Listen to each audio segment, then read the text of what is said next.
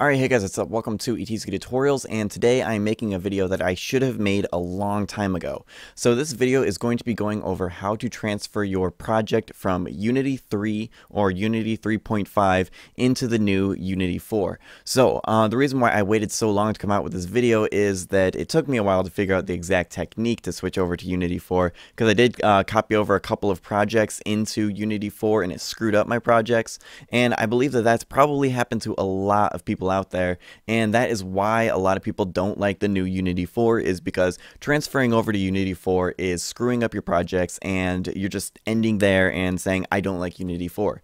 Uh, well, if you transfer your projects over the right way, you can actually flawlessly transfer over your project from Unity 3 to Unity 4, and it will just transfer over perfectly, nice and easy, no errors, um, and should be a pretty smooth, painless process. Um, so let's go ahead and stop talking and just jump into how we are actually going to do this. So uh, as you can see right here, it, actually let me uh, zoom in a little bit more so that you can see a little bit better, but here is the Unity 4.0 installer. Um, so I'm pretty sure you guys know how to install a program onto a computer, um, but the essential step that you guys really need to know is to not click next on everything. So go ahead and click next here, go ahead and click I agree, go ahead and click next as far as importing the example projects and the Unity web player and the mono develop and all of that good stuff. Go ahead and click next on that. And then here, is where you need to slow down. So this is the spot where it's letting us choose where to install the new Unity. So by default, it's going to stick it in a folder called Unity. So what you want to do is install Unity 4 into a new folder, otherwise it will overwrite Unity 3 or Unity 3.5, and you need Unity 3.5 uh, in order to make this process work. You need to have Unity 3 and Unity 4 both installed on your computer simultaneously. So make sure that Unity 4 doesn't overwrite Unity 3. So you can either change the folder's name that Unity 3 is in, or you need to change the folder name that you're going to be installing Unity 4 in. So I'm going to go over here, I'm going to click on browse right there, and then I'm going to go up here, and then you'd pretty much just want to go probably on your C uh, drive, and then program 86 files, and then you'd create a new folder and call it, I don't know, Unity 4, simple as that. Uh, so you got a new folder and then you select that folder and now we have that folder selected and then you click on install. But I already have Unity 4 installed so I am going to click on cancel and yes I do want to quit the setup. So yes that is what you're going to want to do to install Unity 4. So the number one key is to have Unity 3 and Unity 4 both on your computer at the same time. So uh, I have right here in this window, this is Unity 4, and we are going to start in Unity 4. And as you can see, I'm in a project, and I'm not going to use this particular project uh, for the example. I just happen to have it open. Um, oh, another quick tip for you guys is that if you uh, are a little bit confused or like during this whole process, you're not sure whether you're in Unity 3 or Unity 4 because, I mean, they look exactly the same. Um, go to your project window and then if you have this uh, split in the middle and all of these little search things and basically the new project window, you that's the quickest way to be able to tell if you're in Unity 4. I think you can also go to help about Unity and then it will tell you in this little pop-up window here. So that is another way of telling uh, which version of Unity you happen to be in. So what I'm going to do is I'm going to go to File, uh, New Project, and then I'm going to uh, browse. I'm going to put it uh, just, I'm going to actually put it here. And actually, no, no, no, no. What I'm going to do is I'm going to create a new folder in that general area and I'm just going to call this uh, project transfer to Unity 4. You know, whatever you actually want to name it and then you select that folder. Whoops. Make sure it's selected and then go to select folder um, and then go ahead and actually you will definitely want to leave all of these blank. Don't import any of these because if uh, you can import them later if you want, but if you import one of these, it could kind of interfere uh, if you already have some of these standard assets in your previous project because if you do, we will be transferring them over into your new project. So for the most part, generally leave these all unchecked. If you are unsure, leave them unchecked. Um, so I'm going to click on create and then I'm going to click on this window so you can see what's going on. And now we have a new blank project inside of Unity 4. So that is the first step. The next step is to open up your project inside of Unity 3. So I have Unity 3 set up and then let me go ahead and click on the magnifying glass thingy. And as you can see inside of the project window, I have the old project window. It doesn't do any of the fancy split down the middle thing or any of the little search features. So you can quickly tell that this is Unity 3.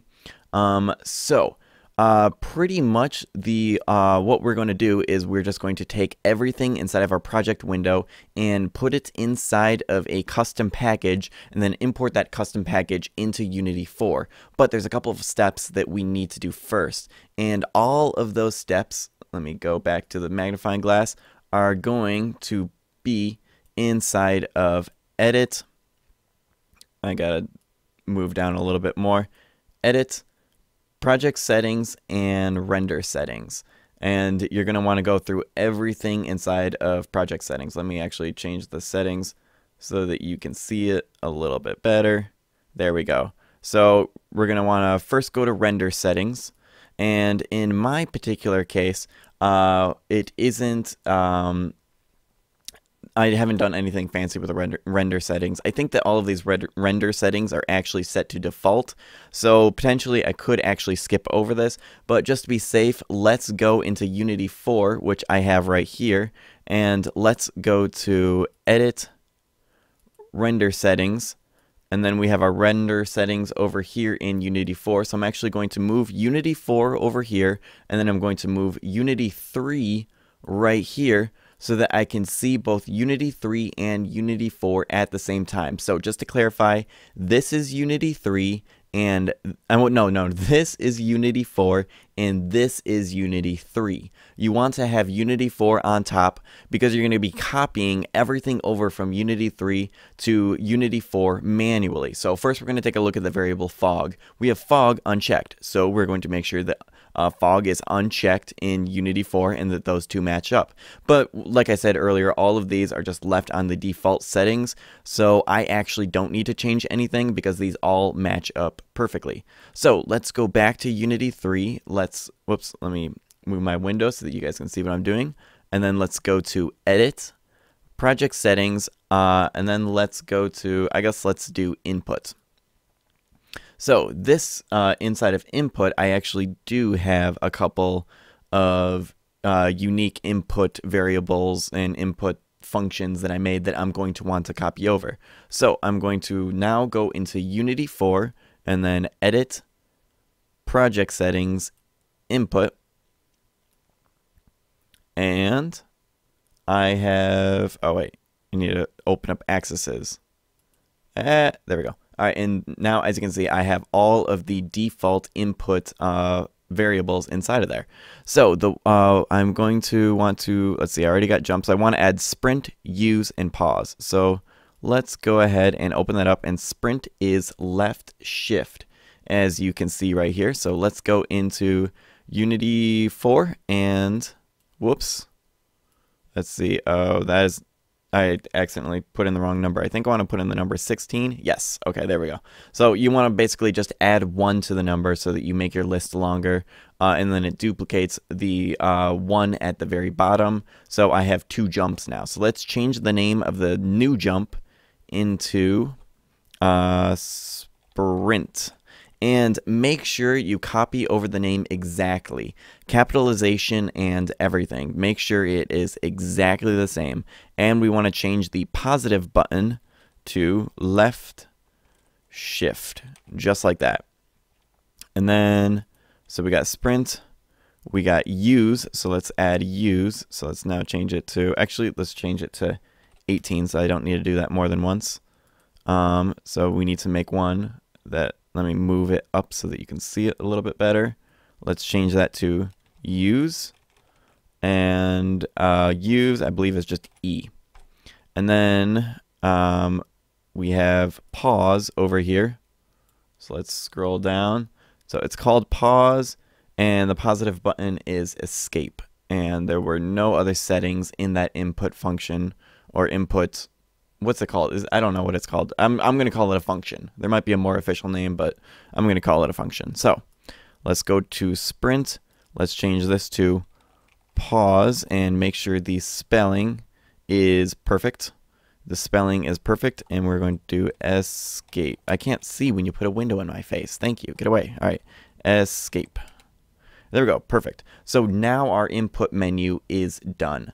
So basically what we're going to do is we're just going to do that for every single menu inside of um, edit project settings. So let's go back into Unity 3 and I'm going to jump to just the one that I care about so let's jump into tags and layers. That's a very important one, tags and layers. So uh, the nice thing about tags and layers is, is, that we can do tags and layers at the same time.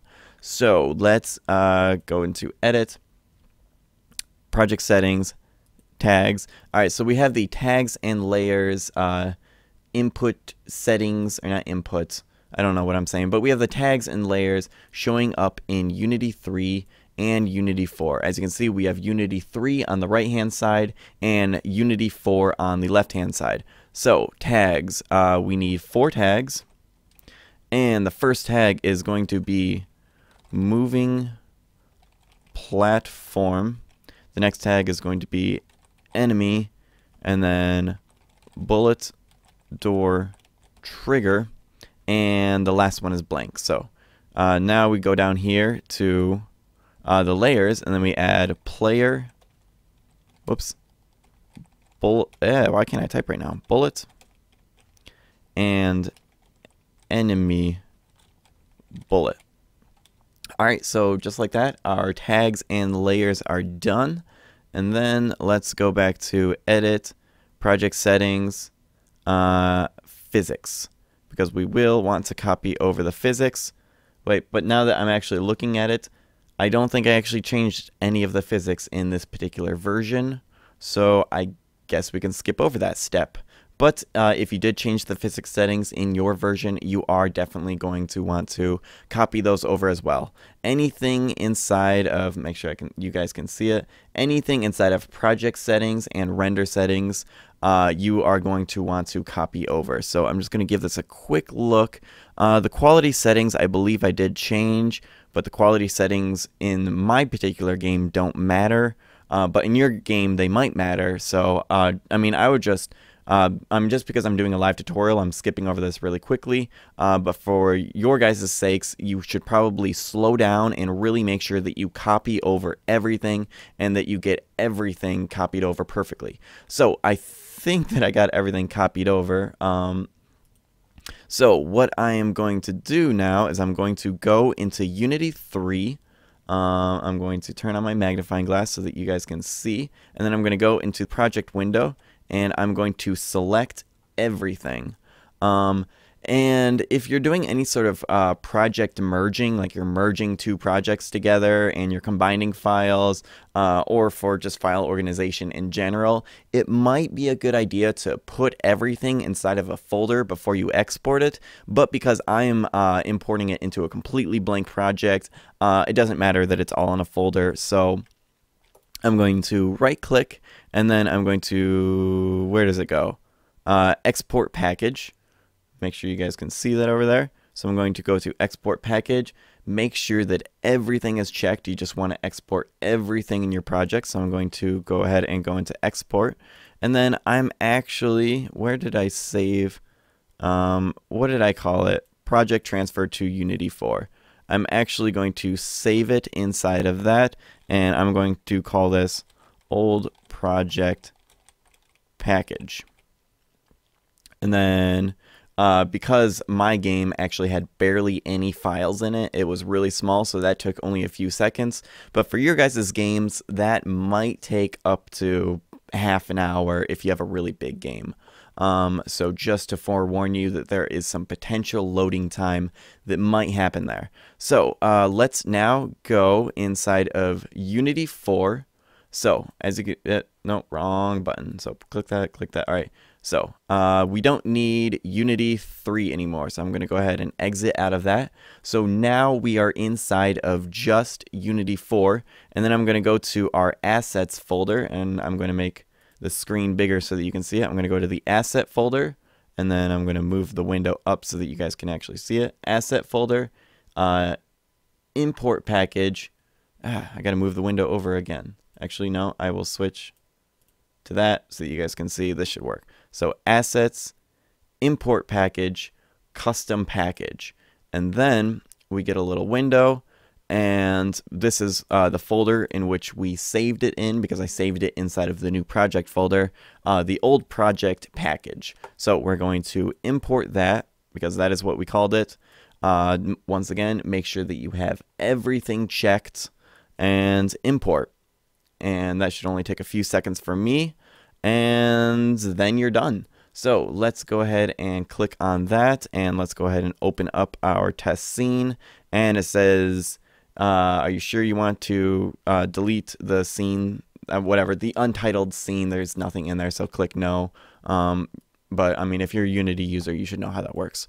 Um, but yeah, and then let's go ahead and click maximize on play and play just to make sure that it is working.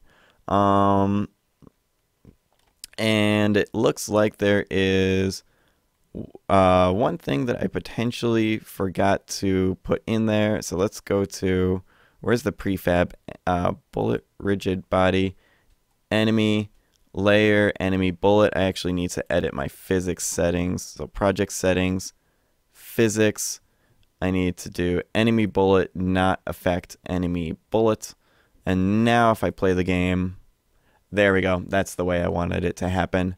Um, so yeah, um, I don't really know why I had my project set up that particular way, but I mean, that is the technique that you guys are going to want to use to switch over to Unity 4. Um, so yeah, I mean, there might be little hiccups here and there. Um, I've had problems in the past with, um, what was the particular script? The combined children script. Um, and yeah, I mean, in general, you might have to do a little bit of fiddling and a little bit of fixing once you bring it into Unity 4. But if you follow this uh, whole procedure and you back up your project, still make sure you back up the project beforehand before you delete uh, the new project. I mean, before you delete your current project, back up your old project like multiple times. Always, always have backups of your project. Um, but yeah, besides that, I mean, that's pretty much how to do it. Um, so if you uh, happen to know any other tips or tricks that other people might find helpful, definitely let me know in the comments below because I might have not have gone over everything. I think that I did, but in case I didn't, let me know. So yeah, hopefully you guys found this helpful and hopefully this video didn't come out too late and hopefully those of you who wanted to switch over to Unity 4 can now switch over to Unity 4. So yeah, thanks for watching this video and I will see you guys later. And until my next episode, I will see you guys later and keep making games. Actually, wait, no, I, I meant to press this button. Okay, see you guys later and keep making games.